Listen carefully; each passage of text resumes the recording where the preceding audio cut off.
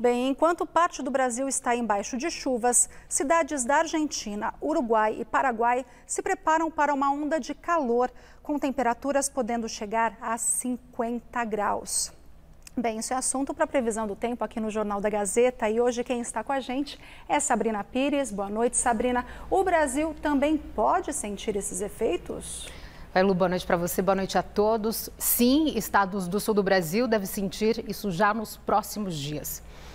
O Instituto Nacional de Meteorologia emitiu o aviso de perigo para 216 municípios do Rio Grande do Sul em razão da onda de calor. Esse mapa aqui da América do Sul ilustra bem esse bloqueio atmosférico que vai acontecer em toda essa grande área vermelha. Países como Uruguai, Paraguai e Argentina vão enfrentar temperaturas extremamente quentes.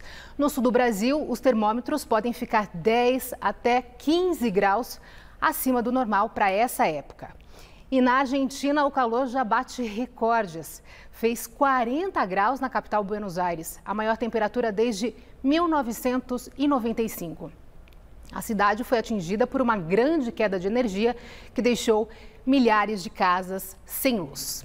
E em Porto Alegre também já esquentou bastante. Então, esse é o, mapa das máximas. E amanhã chega a 35 graus na capital do Rio Grande do Sul. Até domingo deve fazer 38 graus. E toda essa região vai sofrer com temperaturas mais altas que o normal. E amanhã faz 31 em Florianópolis, 30 em Campo Grande, 31 em Cuiabá. E tem boa notícia finalmente para os mineiros as chuvas estão perdendo força no estado.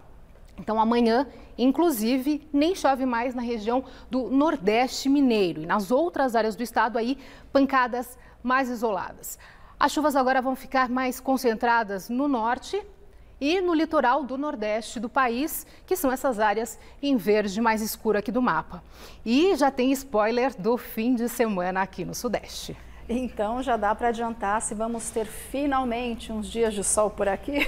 Dá sim, vamos ter. Vai ter calor, vai ter sol, pacote completo. O tempo fica mais aberto também no litoral do estado, está chovendo bastante. Então amanhã e na sexta a gente ainda vai ter bastante nuvem no céu de São Paulo. O sol consegue aparecer, só que conforme as temperaturas sobem, aí as chuvas vêm fortes, mas são pontuais. E na capital paulista, aos poucos, teremos dias mais ensolarados também. Então vamos aqui para a tabela dos próximos dias. Então amanhã a gente tem máxima de 28, na sexta-feira 30 graus e aí no sábado 31. Todos os dias com alerta para pancadas de chuva, aquelas pancadas de verão. E aí no domingão pode esperar mais calor também. Claro que tudo a gente vai confirmando, atualizando aqui na previsão do tempo. Boa noite para você, Lu. Obrigada, Sá, para você também. Combinado e até amanhã.